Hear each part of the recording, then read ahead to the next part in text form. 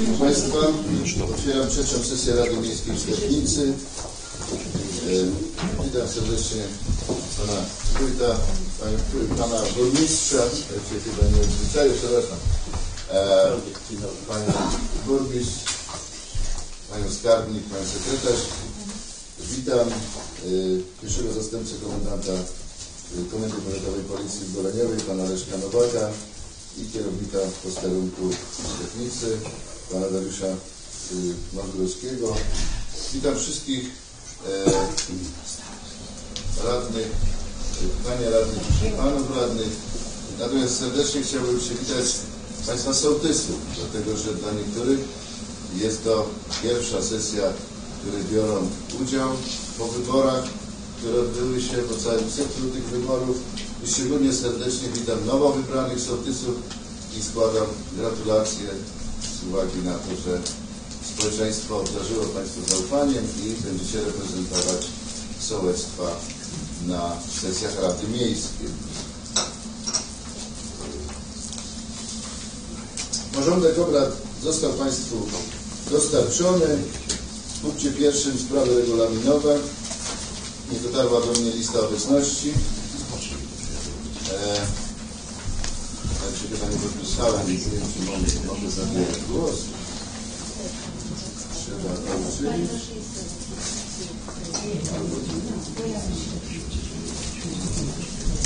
Na podstawie listy obecności stwierdzam, że mamy wymagane forum.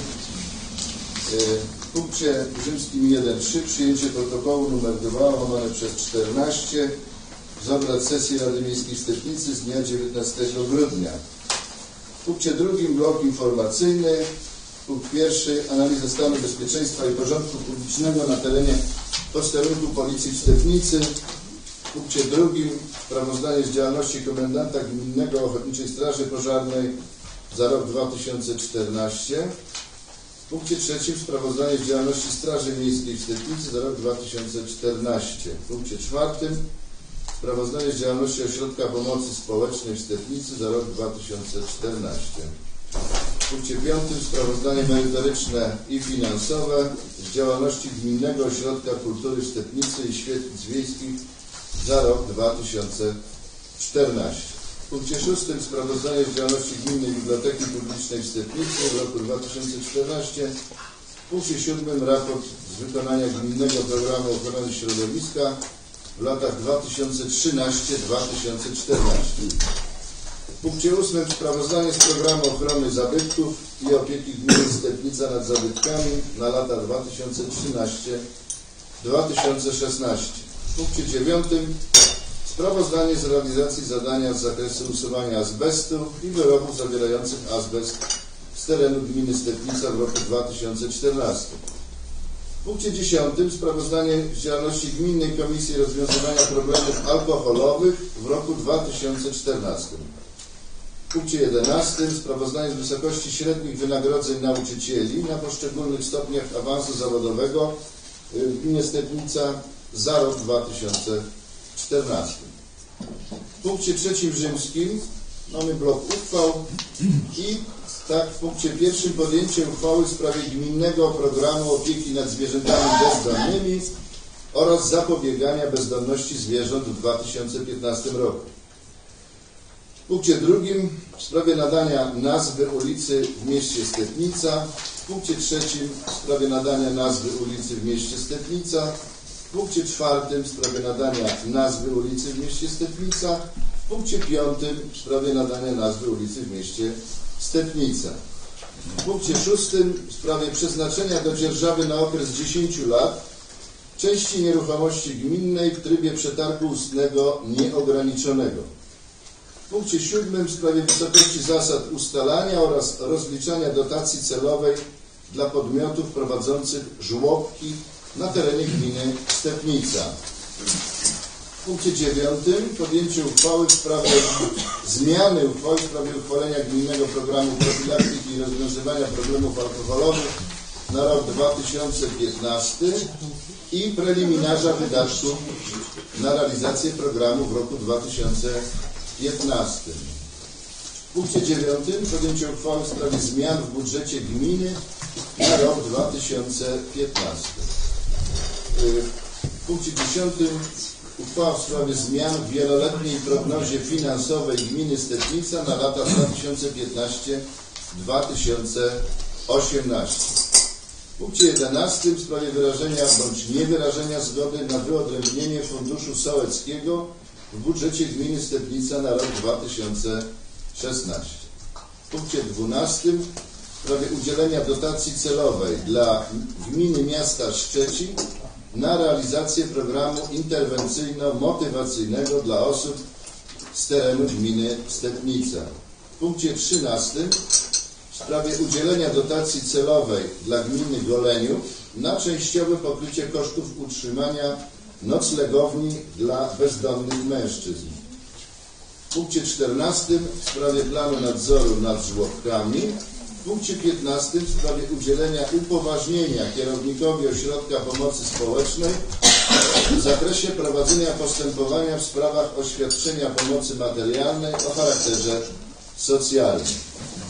W punkcie 16 ustalenie wynagrodzenia burmistrza miasta i gminy Stepnica. W punkcie 17 w sprawie uznania za zasadną bądź niezasadną skargę na działalność burmistrza miasta i gminy Stepnica. W punkcie trzecim informacja sesyjna y, burmistrza miasta i gminy Stepnica. Tak, to będzie punkt czwarty, a nie trzeci, tu jest, tu jest błąd.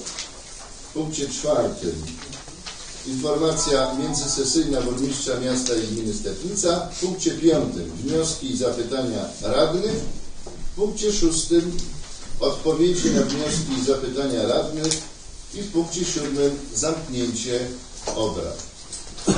Czy ktoś z, państw, z Pań lub Panów radnych, a może z, nie, czy ktoś chciałby wnieść jakąś zmianę do porządku? Nie widzę. W takim razie y, przechodzimy do głosowania. Kto z Pań i Panów radnych za, jest za przyjęciem porządku obrad dzisiejszej sesji w zaproponowanym kształcie? Proszę podnieść rękę. Dziękuję. Kto jest przeciw? Nie widzę. Kto się wstrzymał? Nie widzę. Y, W takim razie przechodzimy do następnego punktu. Przyjęcie protokołu nr 2 łamane przez 14 z obrad sesji Rady Miejskiej Stepnica z dnia 19 grudnia 2014 roku. Mieliście Państwo okazję do zapoznania się z tym protokołem. Czy ktoś chciałby wnieść jakieś uwagi bądź poprawki do tego protokołu? Nie widzę.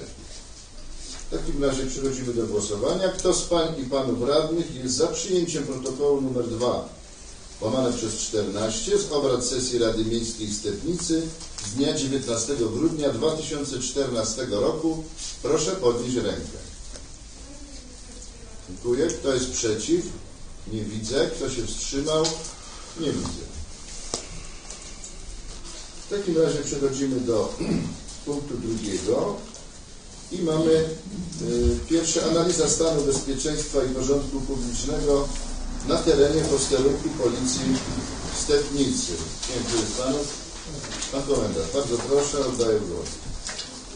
Dobry, witam Państwa. Można na siedząco, panie komendant. Pozwolę sobie przywitać się Państwa na, na e, stojąco. E, Jest mi miło Państwu, Państwa być. Niestety jestem po raz pierwszy. Mam nadzieję, że to będzie częstsze spotkanie, ale tym bardziej, że Państwo mm, są tu sobie, są dzisiaj tutaj i mam okazję ich zobaczyć, a oni mnie, nie wszyscy mnie znają, nie wszystkich e, znam. Pewnie nie zapamiętam, natomiast bardzo mi miło tutaj u, Państwa gościć na tej sesji.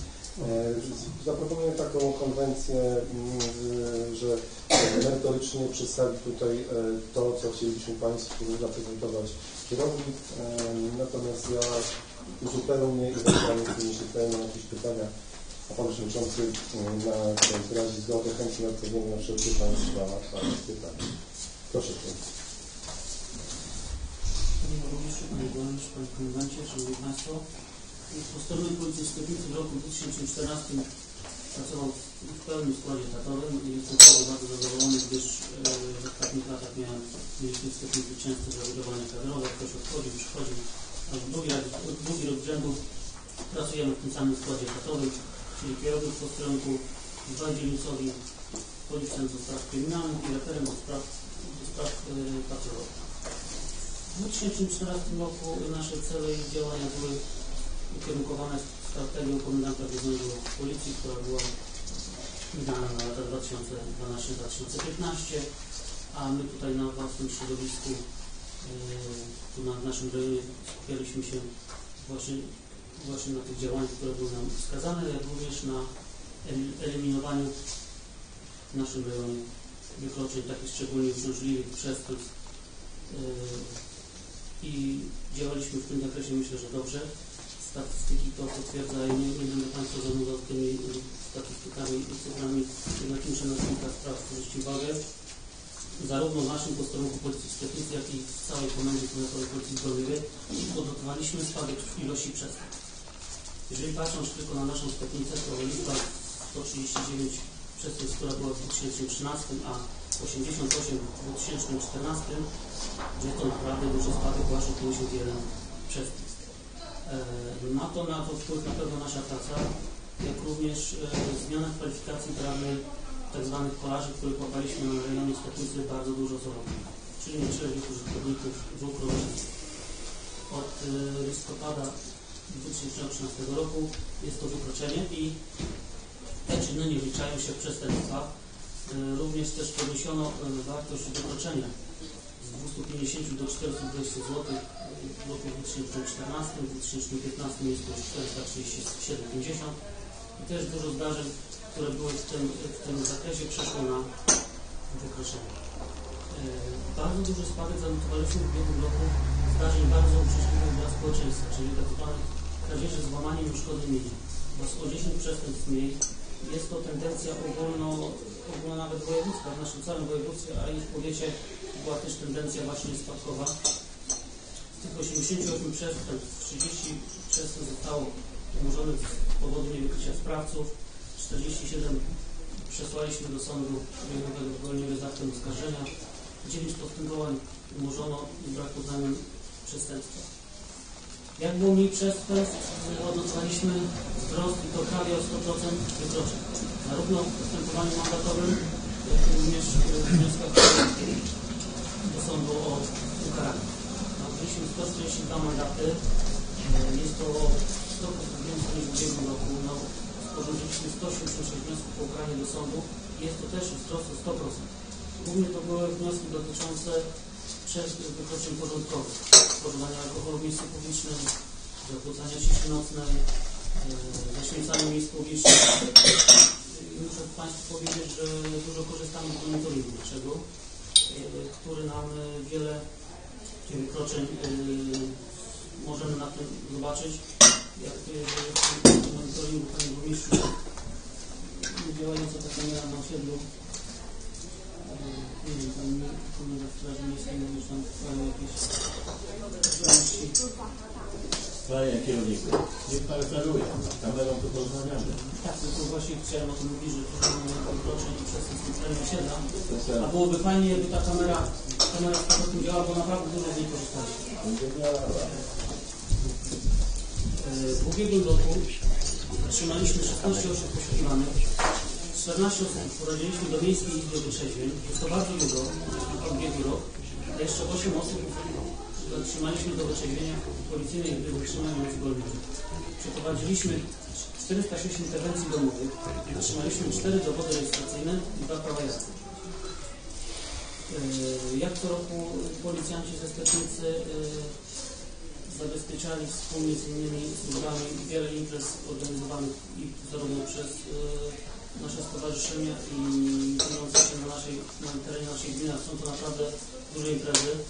Mm, Korzystaliśmy z pomocy zaprzyjaźnionych funkcjonariuszy Morskiego Oddziału Straży Granicznej, e, jak również współpraca w zabezpieczaniu imprez e, układała się bardzo pozytywnie z komendantem Straży Miejskiej, panem Mirosławem Dekmerem. Wspomagała nas też Straż Leśna, gdzie możemy zauważyć, jeżeli Państwo widzicie, co najmniej raz w tygodniu jest e, radiowóz Straży Leśnej u nas w Stepnicy i razem patrolujemy całe rejony. W ubiegłym roku też bardzo e, postawiliśmy na e, ochronę ochronę, szczególnie w okresie letnim, zabezpieczenie całego naszego akwenu wodnego i to pod kątem bezpieczeństwa, jak również usłownictwa. Takie wyniki jak osiągnął w ubiegłym roku e, nasz dzielnicowy starszy aspirant Józef Szember, który znalazł się w trójce termokorzystów najlepszych w całym województwie. Nie wiem, czy nie pierwszy, bo jeszcze nie było, nie było e, wyników, ale chyba prawdopodobnie zajął pierwsze miejsce. E, zatrzymał na gorącym uczynku i złodziei z e, sieci rybackiej, zatrzymał również na gorącym uczynku sprawców kłusownictwa morskiego. Nałożył naprawdę bardzo wiele mandatów karnych z ustawy o rybactwie śródlądowym, jak również wystąp, wystąpił z 19, jak pamiętam, wnioskami do Krajowego Inspektoratu Rybołówstwa Morskiego w Szczecinie. Będziemy to dalej kontynuować, gdyż y, nasz posterunek obsługuje cały akwen wodny aż od Szczecina do Wolina, gdyż w Komendzie Powiatowej w Koleniowie y, no nie, ma, nie, ma, nie ma osoby, która, która by się tym zajmowała i nasz posterunek zabezpiecza cały, cały obszar Komendy Powiatowej Policji w Golniewie. Ponadto e, w ubiegłym roku e, korzystaliśmy bardzo często z formy patrolu rowerowego. E, Będziemy to na pewno w tym roku korzystać z, te, z tej formy. Patrol również e, ona odnosi skutki. Bardzo wiele wykroczeń zostało ujawnionych właśnie przez policjantów pełniących służbę patrolu rowerowego. Cele, cele działania na 2015 rok są te same, które były od 2015 roku które określała strategia komendanta głównego policji. My będziemy też e, kon- koncentrować się na naszym tutaj podwórku. Wiem, że w miesiącu lutym były wybory nowych sołtysów, a widzę, że są nowi sołtysi, są stali sołtysi. Na pewno dzielnicowi, jak już nie dotarli do tych nowych, to na pewno zrobią to w tym tygodniu, ale nie to w następnym. E, W ubiegłym roku, chciałbym zwrócić na jedną rzecz, w ubiegłym roku e, Sejm uchwalił przepis odnośnie działania odblasków w terenie, w terenie zabudowanym przez pieszych od świtu do zmierzchu. Mm, Nie zdziwcie się Państwo, jeżeli będą jakieś, może nie skargi, ale e, będą mieszkańcy naszej, naszego miasta gminy e, zwracać uwagę, że policjanci szczególnie na ten element zwracają bardzo szczególnie uwagę. Gdyż mieliśmy w ubiegłym roku wiele potrąceń wraz ze skutkiem śmiertelnym w terenie powiatu mamy wytyczne również z komendy wojewódzkiej, żeby tym problemem się zająć. Otrzymaliśmy do tego odpowiednie blaski i kamizelki. Moi policjanci już y, w szkołach przeprowadzali pogadanki, rozdawali y, odblaski, a również rozdawaliśmy też kamizelki dla osób starszych y, na terenie miejscowości Stopnicy.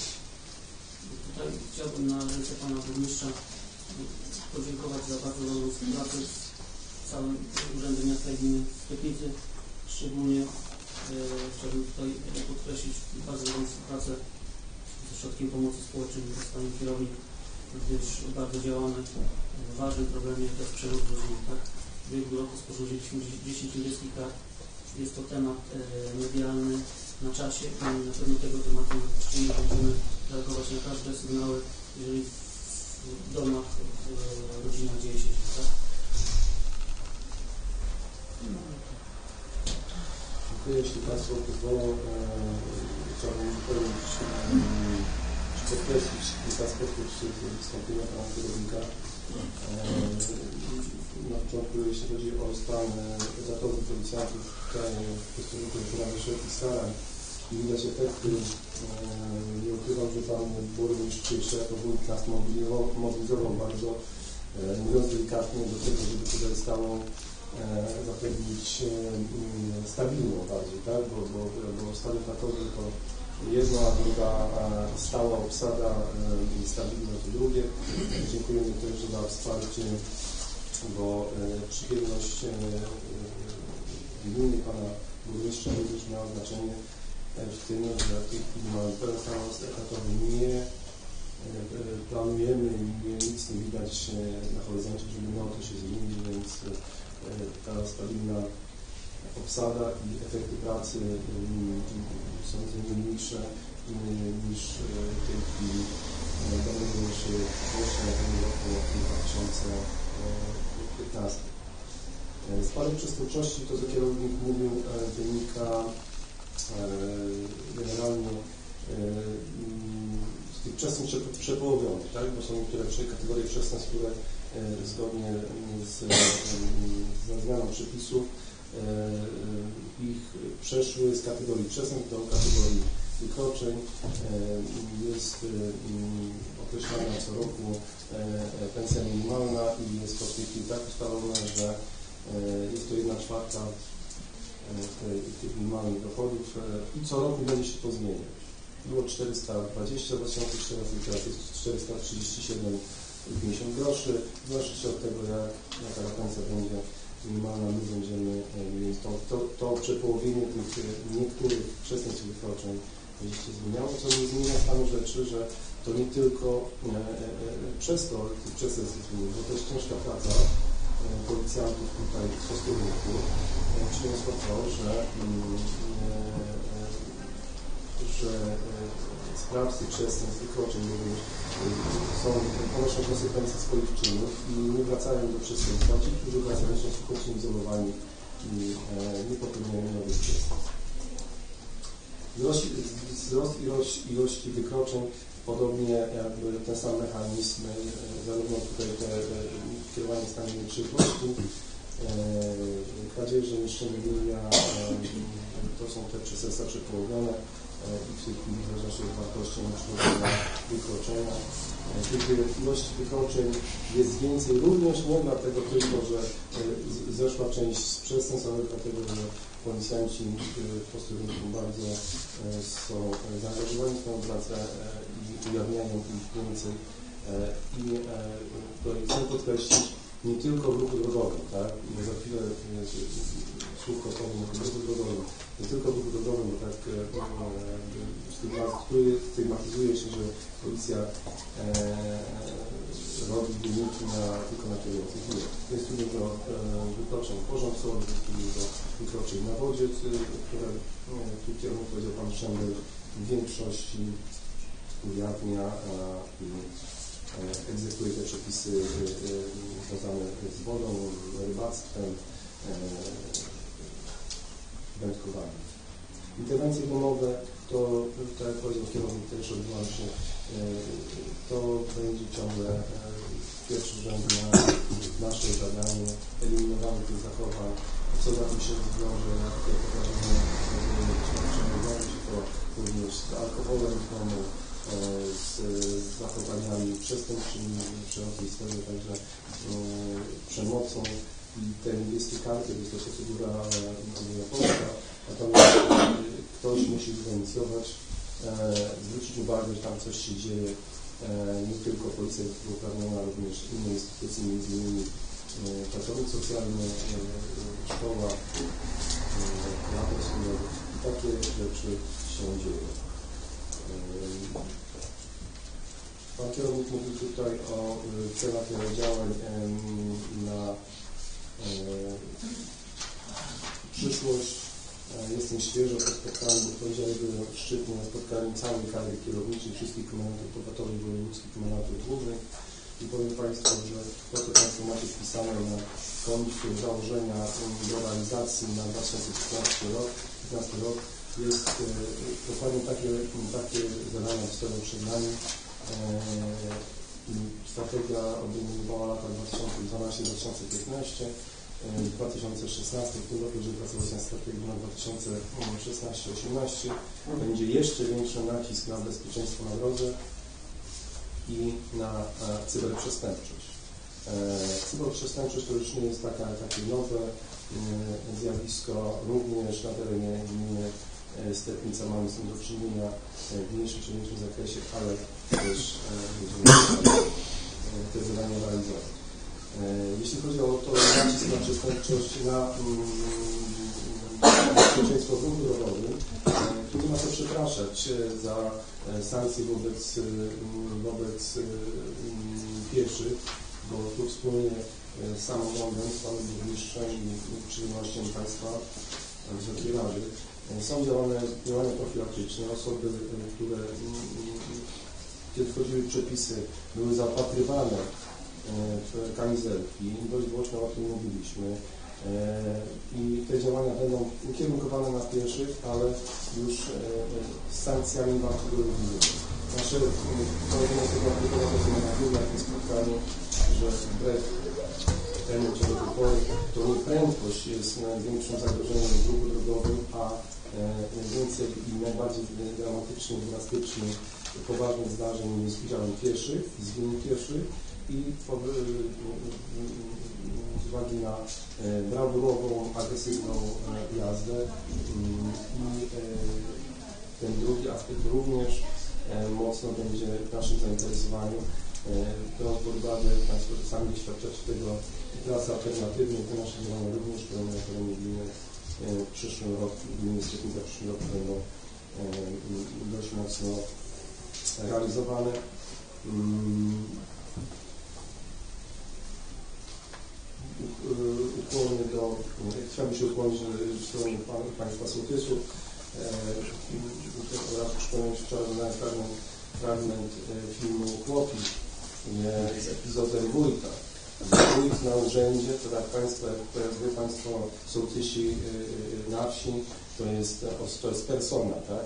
Nie dziwcie się i miejcie tę przychylność do dzielnicowych, którzy będą do Was jako osób e, e, na urzędzie, nazwijmy to, będą zwracać się z pytaniami, będą zwracać się z inicjatywami, e, które chcielibyśmy wspólnie przeprowadzić e, e, lub spytać, czego Państwo oczekują od policji.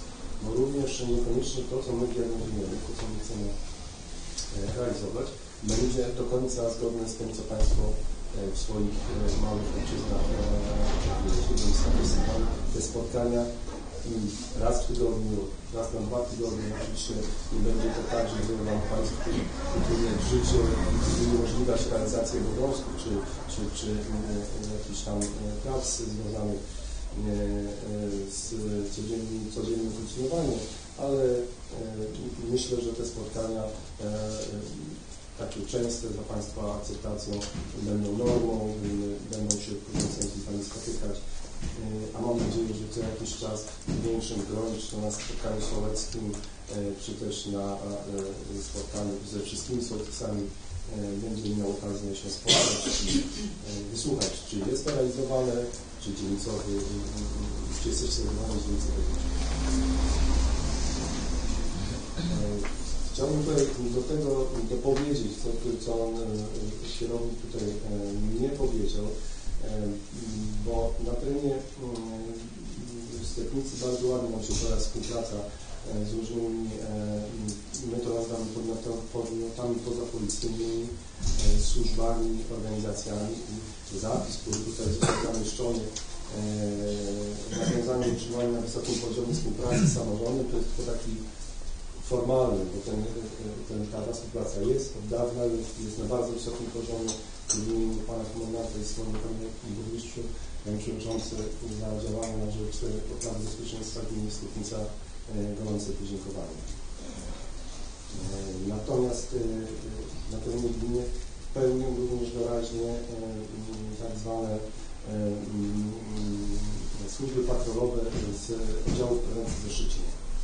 W zależności od y, zapotrzebowania, takie co miesiąc składamy zapotrzebowanie na wsparcie naszych działach. Są to policjanci, którzy przyjeżdżają e, na jedną służbę raz w miesiącu, dwa, trzy, zależy jakie są potrzeby. Im więcej meczy e, do zabezpieczenia, tym mniej jest nic. Natomiast takie służby są.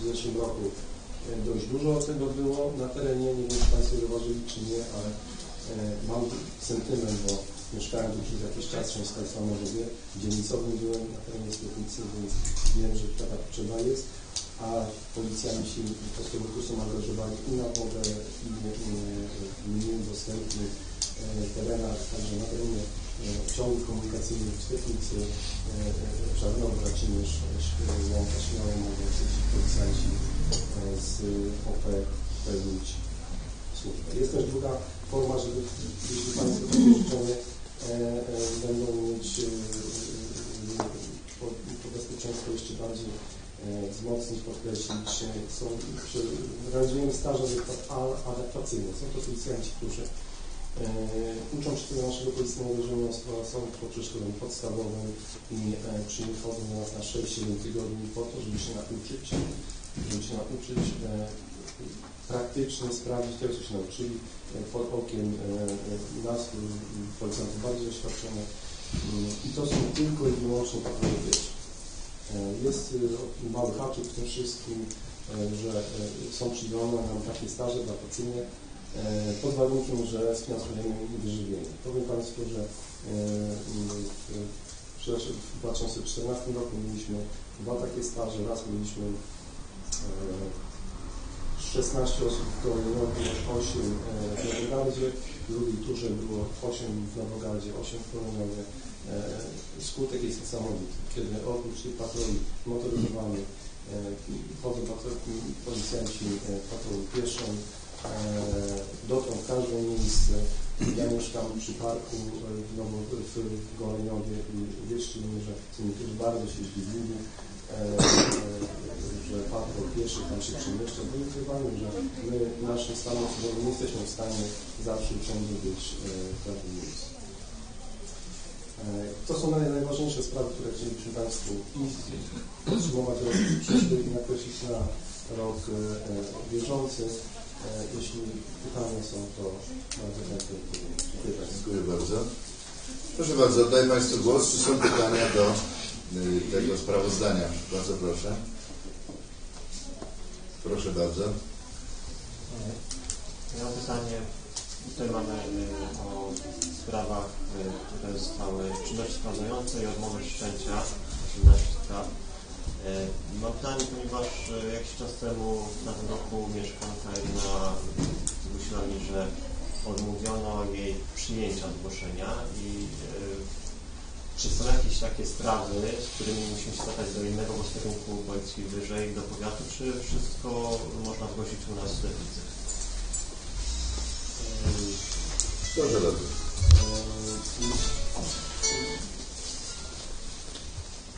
Zastanawiam się, jak powiedzieć, bo e, kwestia e, e, odmowy wszczęcia jest zupełnie inną sprawą jak odmowa przyjęcia. No tak właśnie, też rozumiem, ale właśnie, bo nie widzę czegoś takiego jak odmowa Dlatego przyjęcia, pozwolę więc nie sobie powinno jakby wystąpić. dwa zdania powiedzieć.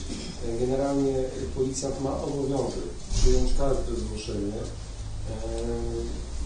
i mm, ocenić, jeśli jest w stanie to załatwić sam, to załatwia, jeśli nie jest w stanie tego załatwić albo nie jest w stanie,